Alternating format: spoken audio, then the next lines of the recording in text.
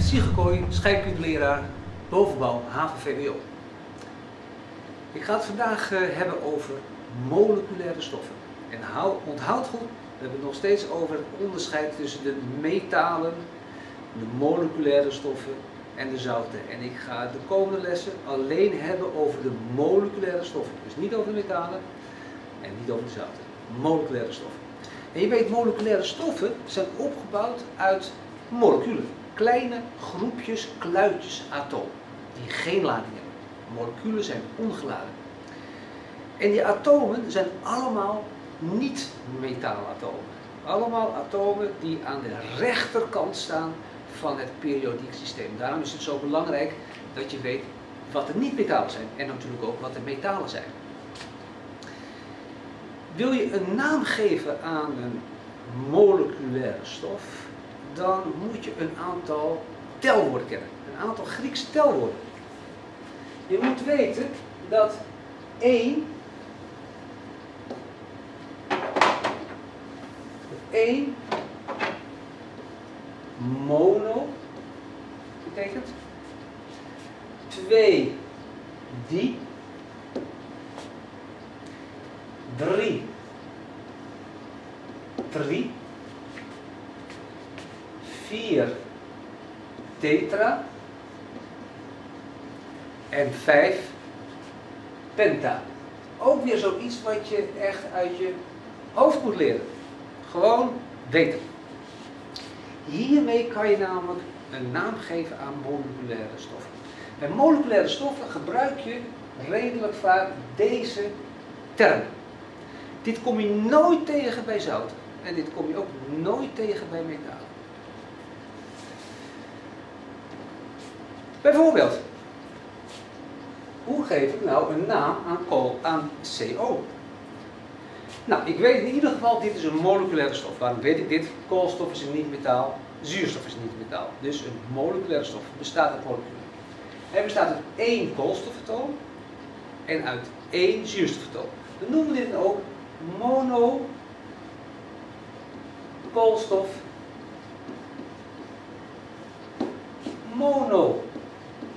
monooxide. Als die twee O'tjes achter elkaar staan, wordt er ook vaak gezegd monoxide. En omdat er mono voor staat, wordt dit ook wel eens weggelaten. Dan zeggen we koolstof monooxide. CO2 is ook een moleculaire stof. Bestaat alleen maar uit koolstofatomen en zuurstofatomen. Niet metaalatomen. En deze noemen we dan monokoolstof dioxide. En die mono laten we vaak weg, dus dan zeggen we koolstof dioxide. De mono mag je alleen maar weglaten als hij ervoor staat. Hè? En deze dan?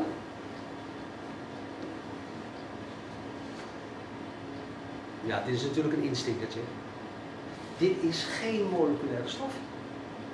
Dit is een zout. Deze bestaat uit metaalatomen en niet-metaalatomen. Dus dit is een zout, dit bestaat uit ionen. En hier gebruik je niet de termen mono, di, tri, tetra en penta. Dit moet je een andere naam geven, maar daar komen we op als we bij de zouten komen.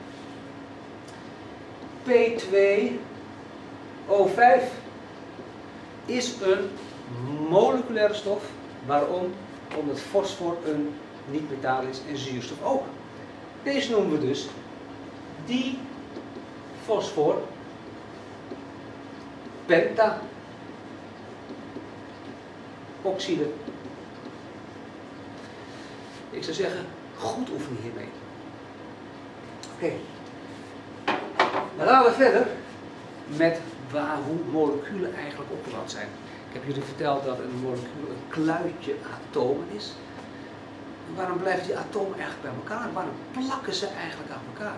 Nou, de binding van atomen in een molecuul, dat noemen wij de atoombinding.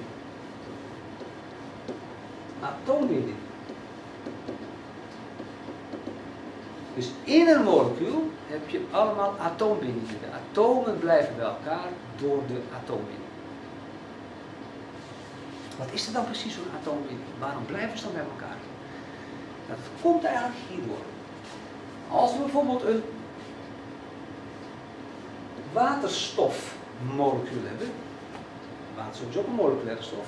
Waterstof bestaat eigenlijk uit dus twee waterstofatomen die aan elkaar vastzitten.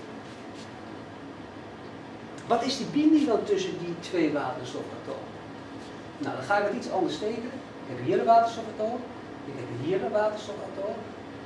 En de binding, die atoombinding, dat zijn eigenlijk twee elektronen, twee elektronen die hier tussen zitten. We noemen dat een elektronenpaar. Dit zijn twee elektronen die bij elkaar zitten.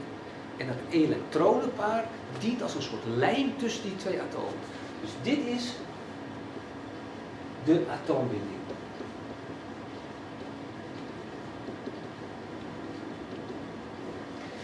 En die zit meestal precies tussen die twee atomen in. Het elektronenpaar zit precies tussen die twee elektronen in. En dat noemen we een gewone, een normale atoombinding. Meestal tekenen we die twee elektronen zo. H. En dan zetten we zo'n streepje neer. En dit streepje is dus ook diezelfde atoombinding. Eigenlijk zijn het dus twee elektronen, is het een elektronenpaar, maar we tekenen eigenlijk altijd zo'n streepje. En als je zo'n streepje ziet, weet je, dit is de atoombinding en dat zijn eigenlijk twee elektronen. Het is een elektronenpaar.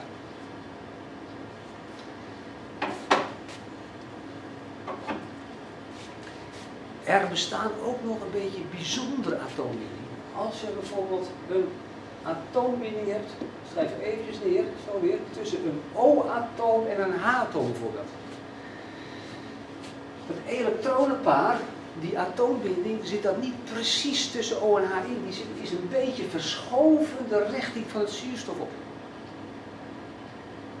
Dus je zou eigenlijk zo moeten tekenen. Hij zit wat dichter bij de zuurstof dan bij de waterstof. Zo'n atoombinding die een beetje dichter bij het ene atoom zit dan bij het andere atoom, dat noem ik een polaire atoombinding.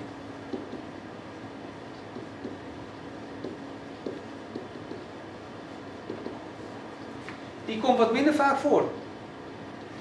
Toch is het zo dat we zo'n polaire atoombinding gewoon met een streepje tekenen. Dus hieraan zie je niet dat het een polaire atoombinding is. Je moet maar net weten dat tussen O en H een polaire atoombinding zit.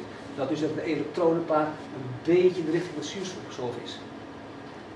Later gaan wij daar nog verder over hebben, over die polaire atoombinding.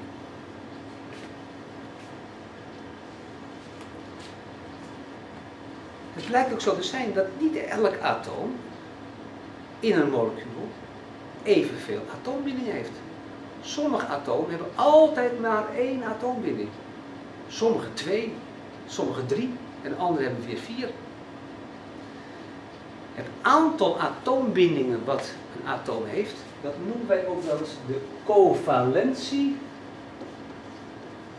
De covalentie van een atoom. Dat klinkt ontzettend moeilijk, maar is het eigenlijk niet. Want het is gewoon het aantal atoombindingen wat een atoom heeft. Ik zal een voorbeeld geven. Ik zal een molecuul gaan tekenen. Ik ga een molecuul tekenen. Uh, en dat ziet er zo uit.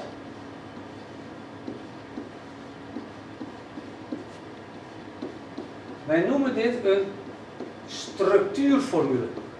Omdat je zo mooi de structuur ziet. De structuurformule teken je altijd. Dit is een structuurformule. De molecuulformule overigens zou zijn C2, 1, 2, 3, 4, 5, 6, H6, O. Dit is de molecuulformule. Dit is de structuurformule. En in de structuurformule teken je alle atomen. En wat valt ons hier op? Dat waterstof heeft altijd maar één atoombinding. Kijk maar, waterstof één streepje. Waterstof heeft één streepje. Waterstof heeft één streepje. Waterstof heeft altijd één streepje. Waterstof heeft altijd één atoombinding. Altijd. Nooit twee, nooit drie. Altijd één. We zeggen dan wel de covalentie van waterstof is één. je naar koolstof kijkt, dan zie je dat koolstof steeds vier streepjes om zich heen heeft. 1, 2, 3, 4. Deze ook. 1, 2, 3, 4. Die mag je meetellen.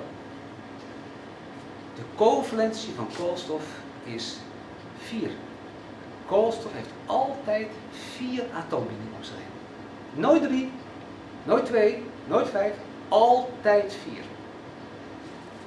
Als we naar zuurstof kijken, dan zeg, zie je dat zuurstof twee atoombindingen heeft. Klopt, want zuurstof heeft een covalentie van 2. Heeft altijd twee atoombindingen om zich. Nou, de covalenties van een aantal atomen, dus hoeveel streepjes eromheen zitten, moet je weten van een aantal. Deze hebben altijd een covalentie van 1. Zuurstof en zwavel hebben altijd een covalentie van 2.